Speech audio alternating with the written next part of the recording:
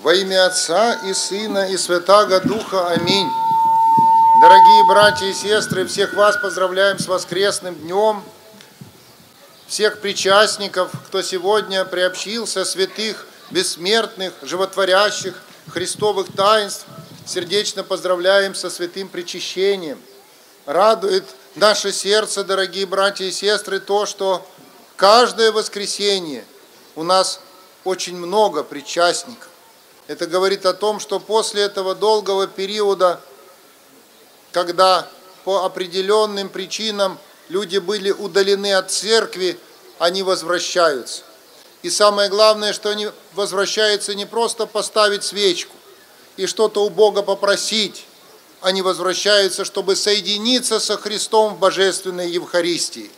И как важно нам, причастившись, дорогие братья и сестры, не забывать о самом главном, о любви, которой мы приобщаемся. Бог есть любовь. И если мы приобщаемся к Богу любви, то, выходя из храма, мы должны быть исполнены этого чувства любви к Богу и ко всем окружающим нас. Мы с вами помним, что святое причастие, которое впервые совершил сам Христос в Сионской горнице – вместе со своими учениками, апостолами, среди которых был причастившийся Иуда, пошел и предал своего учителя. Мы с вами также знаем, что те апостолы, которые причастились бессмертных животворящих христовых таинств, после причастия разбежались и едино оставили Господа. Лишь один апостол – которого мы называем апостолом любви, остался со Христом до конца, до креста. Это Иоанн Богослов. Как важно нам понять эту статистику, что из всех причастников остался лишь тот, который был наполнен любовью ко Христу, которая изгоняет страх. Да, перед страхом собственной смерти убоялся и такой камень, как Петр – который ходил по водам, который видел чудеса своего учителя, но отрекся трижды, прежде чем петух воспел, трижды отрекшись от своего учителя. Отреклись от него и убежали, убоялись и другие апостолы, хотя причастились, хотя были на тайной вечере. Это урок всем нам, что если мы причащаемся, но не выходим из храма преобразившимися, если мы не начинаем жить по вере, не несем веру света Христова в этот мир, который ожесточен грехом, пороком, изменами, развратом, всевозможными страстями и пороками, то и мы тем самым отрекаемся от Христа и одного Его оставляем, даже если мы часто причащаемся. Каждый человек ищет в жизни благо, ищет радости, ищет счастья. И вот в сегодняшнем Евангелии, которое читалось во всех храмах Божьих, это Евангелие от Матфея, 6 глава. В 33 стихе этой главы было прочитано на все наши чаяния и ожидания ответом нашего Господа слова. «Ищите же прежде Царствие Божие и правды Его, и все остальное приложится вам».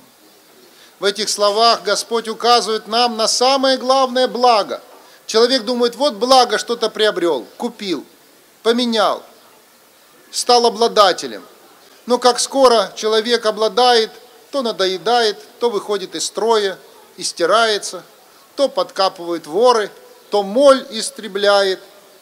И мы с вами видим, что ничего из того временного, что мы приобрели или приобретали, вечным не является. Вот потому Христос и говорит, там-то и не ищите.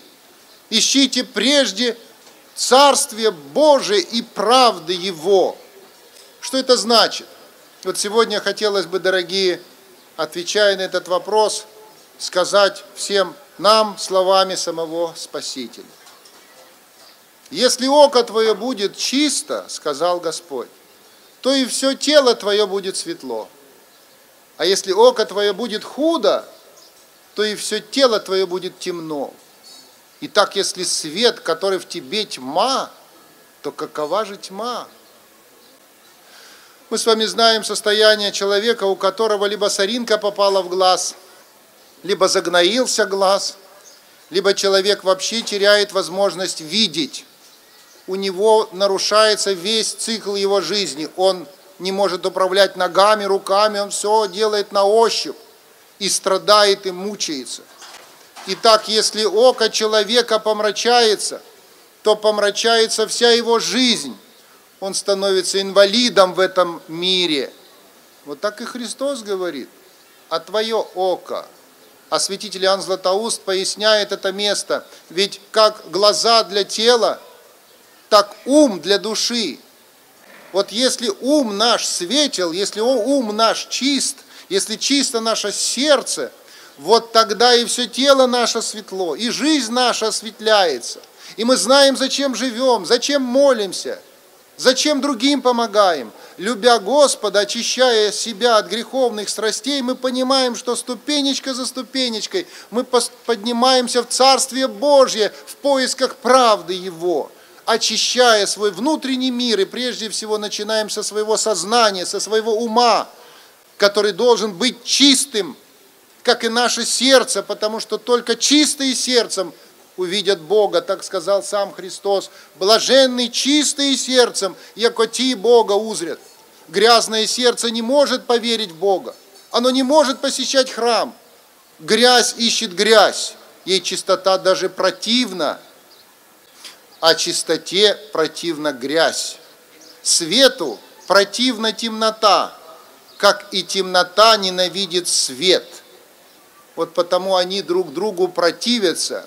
И если око твое, если ум твой, если сердце твое будет чистым, то вся жизнь твоя будет светлой, чистой, доброй и радостной.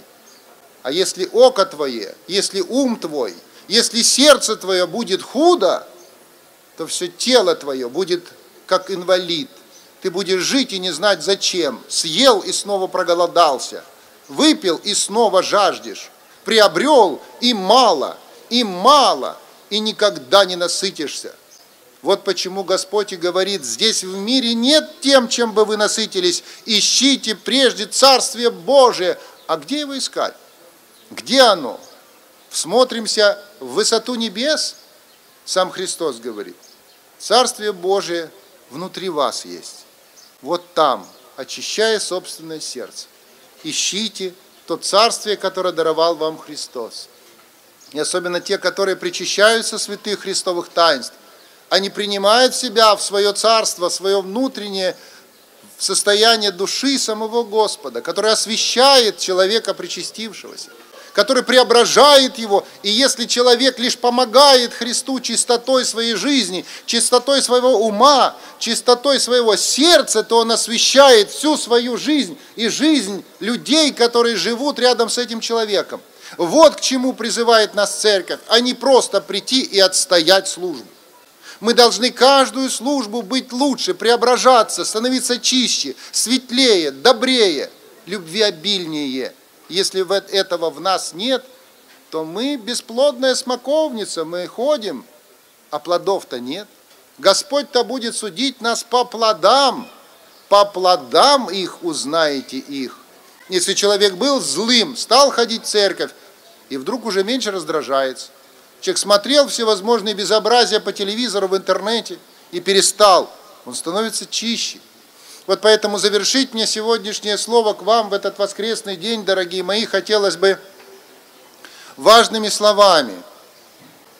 Не будьте побеждены злом, а побеждайте зло добром.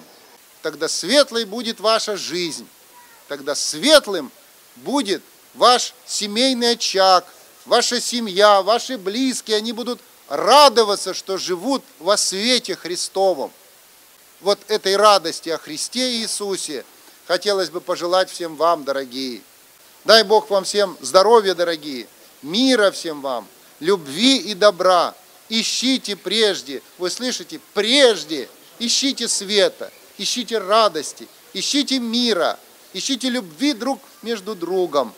И не ложные слова Христа, тогда непременно все земное, в чем вы будете иметь нужду, обязательно приложится вам –